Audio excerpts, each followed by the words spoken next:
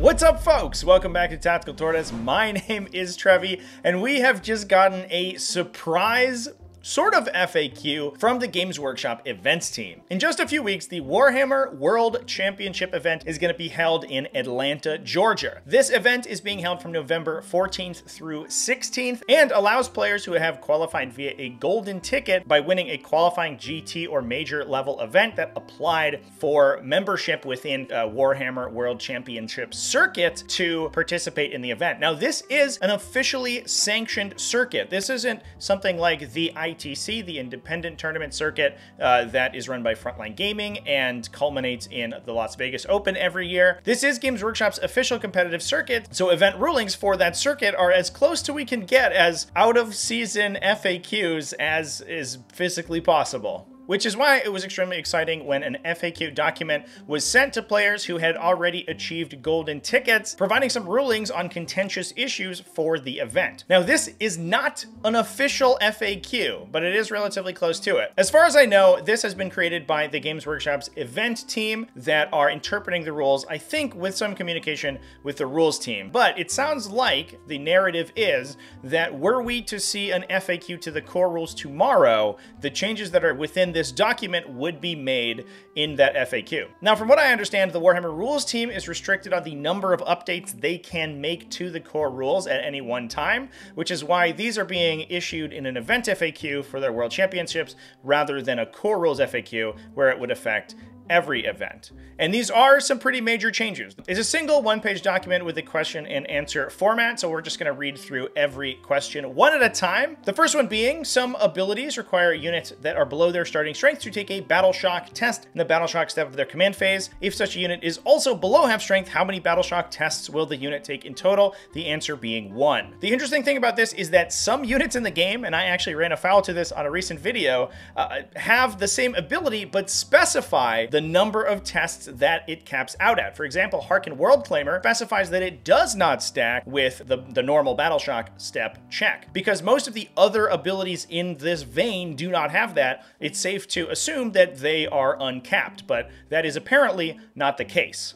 Question two, units with the big guns never tire ability or that are equipped with pistol weapons are eligible to shoot in their controlling player's shooting phase even when within engagement range of enemy units. Can these abilities be used to make them eligible to shoot in other phases such as using fire overwatch? The answer being no. This is a very contentious one and uh, one that I think most TOs around the world have come on the same side uh, as the event team here. Because fire overwatch requires the unit firing the overwatch to be eligible were the controlling player's shooting phase, it sounds like you can use abilities that allow you to shoot in melee while engaged if you're firing Overwatch. However, the thing to keep in mind is that rules that trigger out of phase never apply in different phases, and Overwatch being movement or charge phase, any rules that apply during the shooting phase are not going to apply during a resolution of the stratagem. So, even though you have an ability like pistol or big guns that retire that would make you eligible to shoot, it was questionable whether or not that actually triggered. When a unit counts as having made a move of any kind due to an effect or ability, has that unit made a move for the purposes of abilities that trigger at the start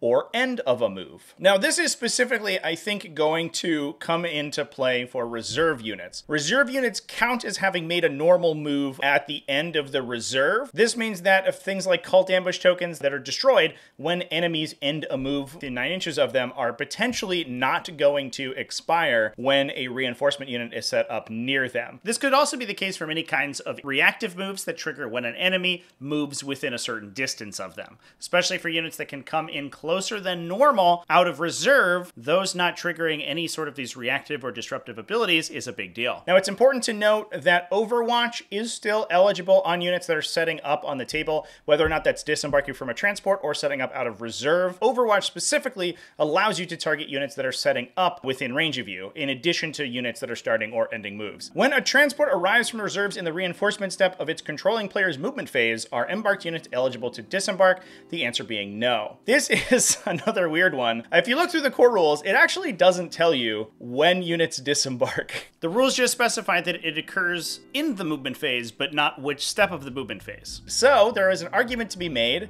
that a transport could come out of reserve, be forced to be a particular uh, horizontal distance away from enemies, usually nine inches, then disembark units closer and charge with those units. Especially if you had something like a assault ramp that allowed you to charge after the transport, if you disembarked after the transport moved. That was potentially legal, but a lot of events had house rules against it. I think that the only reasonable interpretation of the rules, in my opinion, was that transports are only allowed to disembark during the movement step of the movement phase, not the reinforcement step. And that is the conclusion that the Games Workshop events team uh, has, has also come to. If a model equipped with a one-shot weapon shoots with that weapon and later embarks in a transport with firing deck, can that one-shot weapon be selected for use via firing deck? The answer being no. This also meshes with the next question. If a unit equipped with a one-shot weapon is embarked with a transport, and then a transport attacks with that weapon using the firing deck ability, which model is considered to have shot with that weapon for the purposes of the one-shot ability? The answer being that the controlling player must select one embarked model equipped with that one-shot weapon. That model is now considered to have shot with that one-shot weapon and will not be eligible to shoot with it again for the remainder of the battle. This is a pretty clean resolution to a lot of the interactions between one-shot weapons and embarked transports. One-shot weapons are weapons that the bearer can only select to use once per game. After they've used it, uh, it is still on their profile, but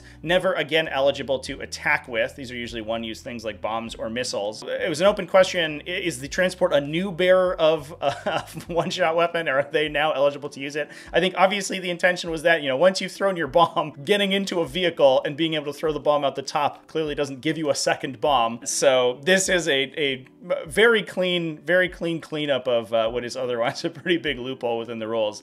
Uh, transports and open firing deck transports still have a lot of weird issues that I don't believe are covered in this document. For example, it is possible, and I've talked about this a couple times in videos, to be firing twice per turn if you have the ability to embark or disembark from a transport mid-shooting phase. There's a lot of weird gray area with this rule, and this at least closes one of the, the loopholes. How does the Melta ability interact with abilities that modify damage characteristics? The answer being that bonus damage from Melta weapons is a modifier and follows the normal process for applying modifiers. This is an interesting one that has to do with the new modifier sequencing rules in 10th edition. Uh, if you have effects that, for example, have the incoming damage of attacks, they are applied first. First, any replacement effects are applied, then division and multiplication. So if you have, for example, in a, a unit like the Incarn that halves incoming damage, you would calculate the damage of the attack first, then add Melta on top of that. So for example, if you were firing a d6 plus 2 Melta shot at the Incarn, you would fire it, uh, it the attack it goes through miraculously through Fate Dice and an. You roll a 4 for damage, that gets halved to a 2. However, if you're in Melta range, after that step of the process, you'll then add 2 more for the Melta ability. So you'd actually be dealing 4 damage to the Incarn. Similarly, if you have uh, something like a Blade of Armor, where the damage characteristic of your attack is changed to 0, you would replace the d6 of the, of the uh, attacking weapon characteristic with a 0, then add your Melta on top. So a Blade of Armor, for example, is you're still going to be taking 2 damage from Melta weapons or weapons with bonus damage. This is also the case for enhancement weapons that get bonus damage. There's a lot of other bonus damage uh, situations in the game that can be affected by this. And this is core rules, by the way. This is uh, all laid out in the rules commentary. The uh, events team is just going along with what is otherwise the rules as written. Some abilities allow a unit to be targeted with a stratagem for 0 CP. Can such an ability be used on a command reroll stratagem? The answer being yes. The unit that the reroll is being used in relation to is considered to have been targeted with the command reroll stratagem. This is uh, a pretty vague wording, um, but again, plugging a little bit of a gray area. The core rules don't specify a target for command reroll, so it's not eligible to be used rules as written with effects like Rites of Battle that allow you to target a unit with a stratagem. However, the rules commentary refers to command reroll targeting, even though it doesn't actually have a target. So it was up in the air whether or not you were able to use command reroll with free stratagem effects. Generally speaking, the answer was no, but it sounds like that is going to be changed in the near future. Some abilities remove a unit from the battlefield after the first battle round has started and place it into strategic reserves. If that ability states it will arrive back on the battlefield in the reinforcement step of your next movement phase, or that that unit has the deep strike ability, can such an ability allow a unit to arrive on the battlefield during the first battle round? The answer being yes. When doing so, set that unit up on the battlefield as if it were the second battle round. However, it does not allow other abilities to arrive from strategic reserves during the first battle round. This is very targeted in what it affects. It is only effects that place you into strategic reserves, but then specifically place you back on the table the next phase, the next movement phase. Whereas there are some abilities like the ones that are mentioned that have kind of a nebulous timing. You just go into strategic reserve and then arrive at a legal point later on in the game. A good example of this is Chaos Daemons. They have an ability to enter strategic reserve at the end of your opponent's turn, then set up in your next movement phase. If you use that on the first battle round, despite the fact that strategic reserves cannot normally enter on the first battle round, because the game would blue screen if you didn't allow them to arrive, you would both be forced to arrive and not be allowed to arrive. This FAQ is allowing those units to be set up. Now, the next question is basically along the same vein. Some abilities remove a unit from the battlefield, state that the unit will return in the reinforcement step of the next movement phase, but do not make use of strategic reserves or deep strike. Can such an ability allow a unit to arrive on the battlefield during the first battle round? The answer being yes, almost exactly like we talked about before. This just allows the classic uppy downy kind of effects like Grey Knight teleporters, uh, Calidus assassins, and Allarus terminators to actually use their abilities on the first battle round, which is, I believe, allowed by the rules commentary since they count as reserves that started on the table, which are allowed to redeploy on the first battle round, but isn't really explicitly stated. Some abilities, such as Strands of Fate or Acts of Faith, occur before making a dice roll. Can such an ability be used as part of a reroll? The answer being yes. Uh, a reroll is simply a second roll according to the core rules, and these effects come into play anytime you roll. So what this allows you to do, for example, is when you're playing Eldar, you are uh, rolling your hit dice or your wound dice, and then using Unparalleled Foresight to reroll one of those once per activation. You can pick that back up, roll it again, but before you actually physically roll the dice, choose to sub it out for a Fate dice. If a unit with the Infiltrator's ability uses an ability that allows it to redeploy, can it make use of the Infiltrator's ability when redeploying? The answer is no. This is a good clarification since redeploy effects only specify that they use the normal deployment rules. Exactly what the normal deployment rules were was a little bit ambiguous since the infiltrator's ability is included within the deployment rules of the core rulebook, but it's good to have a clarification on that. Moving on, some units, such as Mortarion, Trajan Valoris, Knights, and Grandmasters, have abilities that allow certain models or units to ignore modifiers to their characteristics. Do such abilities allow them to ignore the modifiers to the characteristics of weapons equipped by those models or units as well? The answer being no. This was another another one that had no clear answer within the core rules. So I'm glad we're getting clarification on a lot of these. And the answer being no, I think makes sense. Uh, a, a, model model's characteristics are their own, their weapons are their own. Things like Trajan Valoris and Mortarion's aura are not going to affect things like minus one damage, Duty Eternal. They're not going to affect minus one AP, for example, from Armor of Contempt. However, things that they will still ignore, it's important to note, are things like Stealth, minus one to hit, minus one to wound. Those are effects of rolls for the model in question. And uh, most of those abilities both allow you to ignore modifiers to rolls that the unit makes. And that will affect hit and wound rolls. So that will affect attacks made with their weapons, just not modifiers to the characteristics of their weapons specifically. Next up, some abilities such as Path of Command, Lord Solar, Hive Commander grant 1 CP at the start of their controlling player's command phase. Does this CP count towards the limit of each player only being able to gain 1 CP per battle round? The answer being yes. I think this one was pretty clear cut in the rules, but I could understand the argument that uh, it was a little bit confusing. The core rules state that only 1 CP is allowed to be generated per battle round outside of the CP generated in the command phase. Whether or not that that uh, CP in the command phase was plural or singular was never specified. So if you gained multiple CP in the command phase, nobody knew whether or not that counted against the cap that you can gain of one command point per battle round. It, it, seemed like the implication was that it was yes. Some events ruled otherwise, but uh, again, we're clarifying some gray areas. You are not going to be allowed to gain more than one command point per battle round beyond the normal one that the core rules grant you. Last but certainly not least, another one that we have no clear resolution for within the core rules of the game. If a unit that contains character, monster, or vehicle models fails several hazardous tests at the same time, how are those effects of failed tests applied? This is specifically for multi multi-model character, monster, or vehicle units. So the most important one being here uh, Crisis Battlesuits, which will typically carry three hazardous weapons per battlesuit and have multiple vehicles within the unit, one of those vehicles also being a character. The hazardous weapon rules specify that each time a hazardous check is failed for a character or vehicle, you choose one of those models within the unit to assign mortal wounds thanks to the failed hazardous check to. Mortal wound assignment doesn't tell you how to assign mortal wounds to specific models, only how to resolve them when applied to a unit. So whether or not it followed the normal rules was totally up to interpretation. The answer here is that for each failed hazardous test, the unit's controlling player selects one model in the unit equipped with a hazardous weapon.